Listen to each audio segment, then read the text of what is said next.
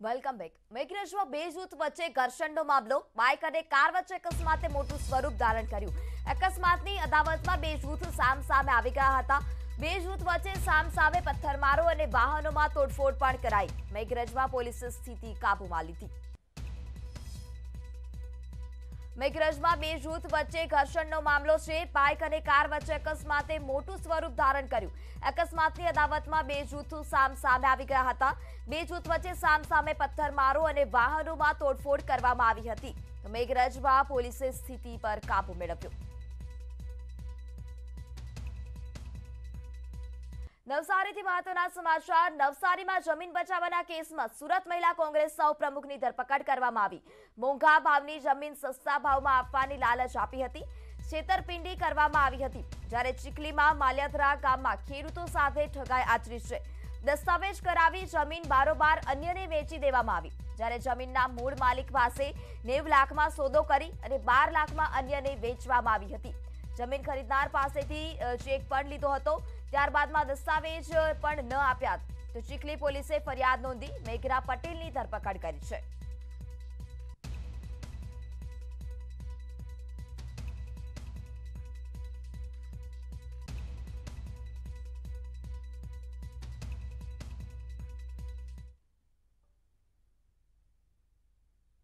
અમદાવાદના નરોડા વિસ્તારમાં પોલીસનું સર્ચ ઓપરેશન. ઝોન ચાર ડીસીપીની આગેવાનીમાં પોલીસનું સર્ચ ઓપરેશન. અલગ અલગ ટીમો બનાવી અને આરોપીઓને પકડવાની કવાયત શરૂ કરવામાં આવી હતી. નરોડાના મુઠિયા ગામમાં પોલીસે સર્ચ ઓપરેશન કર્યું અને સર્ચમાં આરોપીઓના મકાન બંધ કરી ફરાર થયા હોવાનું પણ ખુલ્યું હતું.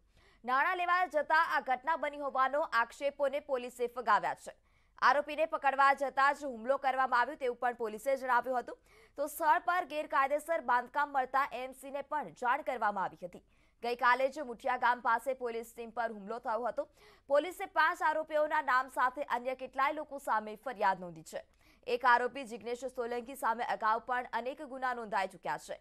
આરોપી સામે ડભોઈમાં એક અને નરોડામાં સાત ગુના નોંધાયા છે.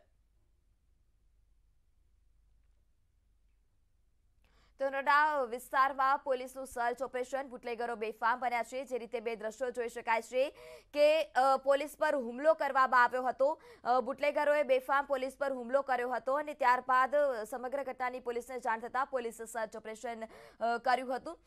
જ્યારે સર્ચ ઓપરેશનમાં સામે આવ્યું છે કે તેઓ બુટલેગરો મકાન બંધ કરી અને નાસી છૂટ્યા હતા.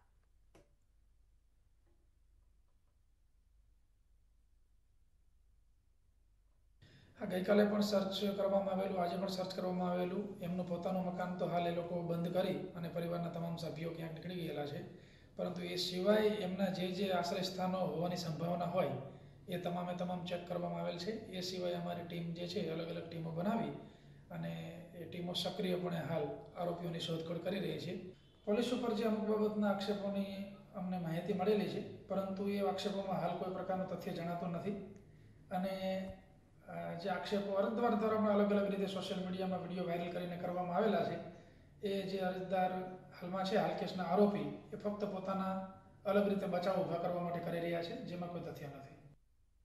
પાંચ સેકન્ડમાં પાણીની ટાંકી કકડબૂસ પંચમહાલના કલોલમાં પાણીની ટાંકી ઉતારવામાં આવી.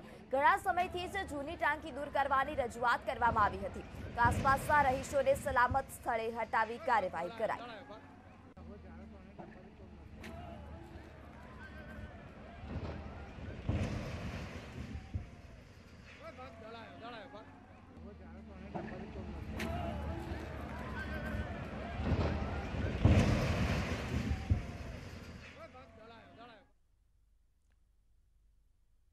ધંધુકા હત્યા કેસમાં મોલવીની તસવીર સામે આવી છે. મૌલાના મોહમ્મદ આયુબ યુસુફભાઈ જાવરાવાલાની તસવીર સામે આવી છે. પોલીસે મૌલવીની ધરપકડ પણ કરી છે.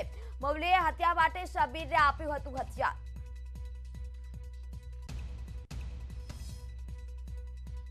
મૌલીની અ, મોલવીની તસવીર ન્યૂઝ એઇટીન પાસે આવી છે. ધંધુકા હત્યા કેસમાં મોલવીની તસવીર સામે આવી છે. મૌલાના મોહમ્મદ આયુબ યુસુફભાઈ જાવરાવાલાની તસવીર સામે આવી છે. જે આરોપી દેખાય છે તે મૌલાના મોહમ્મદ આયુબ યુસુફભાઈ જાવરાવાલા છે.